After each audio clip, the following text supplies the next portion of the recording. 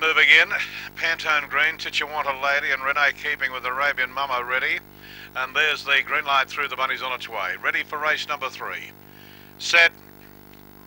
And racing, Pantone Green began beautifully quickly. Away was Arabian Money. They were followed by uh, uh, May Whirl. The other three got themselves under strife. Titchawanta Lady below 15 and Rene keeping. And the leader is Pantone Green. In second place, Arabian Mama. It's railing the better on the corner. Don't know whether it's going better on straightening. Arabian Mama and Pantone Green. Mama's doing better. And Arabian Mama's won the money. Arabian Mama by a length and a half. Pantone Green.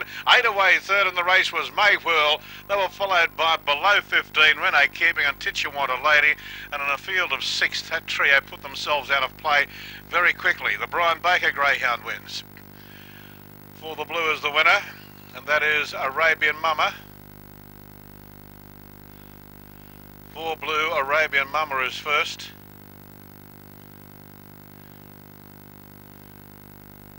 Standing by for the details, 416 and 2.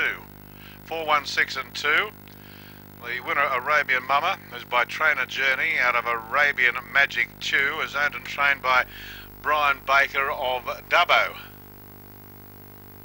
That is Brian Baker, yes.